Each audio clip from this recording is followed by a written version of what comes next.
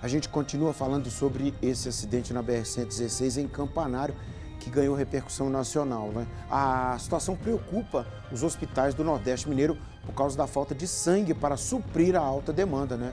Os gestores da área de saúde orientam a população a comparecer aos hemocentros da região. Deixa eu chamar aqui o Fantônio Pesco, que ele acompanha é, o drama, né, Fantônio, esse trabalho aí de velório, de sepultamento, naturalmente, das vítimas fatais, né? Amigo, eu não tenho o que te falar a não ser tragédia. Bom dia ainda para você. Que tragédia, hein? Bom dia, Nicomedes. Bom dia a todos que nos acompanham pelo Balanço Geral. Boa semana de trabalho, boa semana de atividade a todos. Mas, Nicomedes, a gente tem que é, é, fazer um rescaldo desse acidente, que foi um dos piores acidentes já registrados no Nordeste Mineiro, principalmente aqui na BR-116. Nós estamos tentando aqui pesquisar quais foram os acidentes com essa mesma proporção e Nicomedes, nos últimos 10 anos, pode-se dizer, o pior acidente de todos. Acidentes que envolvem ônibus, realmente, eles têm uma proporção muito maior do que, às vezes, acidentes que envolvem até outros com vários é, veículos.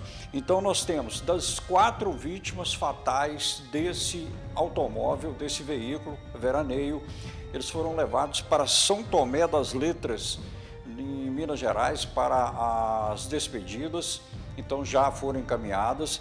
Duas vítimas que estavam no ônibus foram enterradas na cidade de Ladainha, duas mulheres, e a bebê de cinco meses foi encaminhada para São Paulo e será enterrada agora, será enterrado agora no, no início da tarde o motorista auxiliar, o motorista do ônibus, não o que estava na direção, mas o auxiliar, ele será enterrado nesse agora no início de tarde. Então aí, Nicomedes, a situação das vítimas fatais desse acidente, as oito vítimas fatais.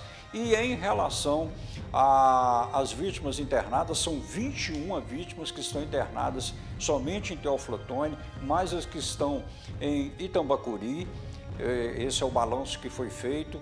E essas vítimas, Nicomedes, elas precisam é, de um apoio da população. Lembrando que nós solicitamos à empresa responsável pelo ônibus uma nota a respeito do ocorrido. Nós estamos aguardando essa nota, infelizmente ainda não recebemos, mas continuamos aguardando. Fizemos contato durante o final de semana. Nosso secretário da Guarda, o Miguel, a Alessandra, todos fizeram contato com, com, com, a empresa pedindo uma nota de esclarecimento a respeito do ocorrido, mas ainda não recebemos essa nota. Por fim, Nicomedes, resta realçar a importância de que as pessoas participem, que as pessoas façam um gesto de, de, de amor e de atenção com essas vítimas. Só para se ter uma ideia, somente no Santa Rosário, 21 pacientes com fraturas graves, fraturas múltiplas, então essas pessoas vão precisar de doar. E o secretário municipal de saúde, Teófilo ele que foi até o, Santa Rosária para coordenar a chegada dessas vítimas e dar encaminhamento, dar o suporte necessário, ele fez um apelo à população. A gente sabe que, infelizmente, no dia 2 de janeiro, que é o dia de hoje, nós tivemos um trágico acidente aqui na nossa cidade com a irmã, que é o Campanário. Inclusive, mais de 40 pessoas se acidentaram, inclusive com morte no local. E eu estou aqui dire diretamente no, na porta do Hospital Santa Rosário, eu já passei também na UPA, no, no nosso Raimundo Gobira. Além disso, sabemos que Itambacuri, Campanário e Valadares também acudiram essas pessoas que foram acidentadas. Então eu estou aqui não só como médico, mas também como secretário de saúde dessa tão amada cidade chamada Teflotone, mostrar para vocês a importância que nós temos de doação do sangue. Então se você estiver disposto aí, nós pedimos encarecidamente as pessoas estão chegando aqui, nós não sabemos como é que vai evoluir o quadro dessas pessoas que adentraram no Hospital Santa Rosário e com certeza muitas delas vão necessitar de sangue.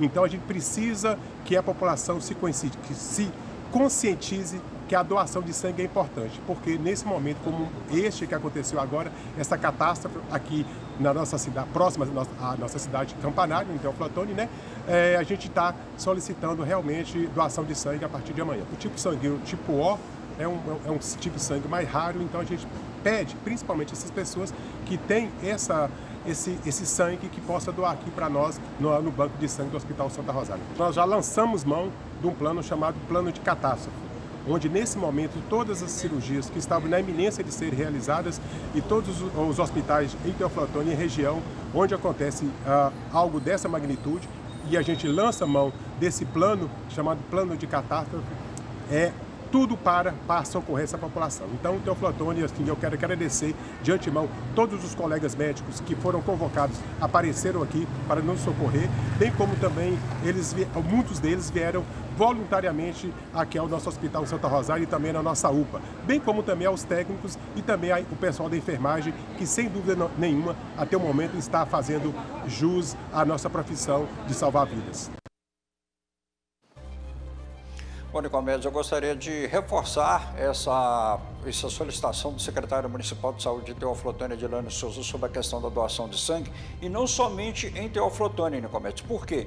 Quando o Hemortone, o banco de sangue do Hospital Santa Rosália, é, não tem material suficiente, o, o, o Hemocentro de Governador Valadares, o Hemominas de Governador Valadares, é o, a primeira unidade que é procurada. Então, Nicomedes, vamos aguardar aí que as pessoas também compareçam em Governador Valadares, porque é um suporte para a Teoflotone e que essa doação possa chegar. Lembrando que nós estamos no período de férias, Nicomedes, muita gente vai precisar de sangue, não só em função desse acidente, mas de outros que a gente não gostaria de falar, mas que infelizmente é previsível de que aconteça nos próximos, nesse, nesses próximos dias, que é o período de férias. O Antônio está dado o recado.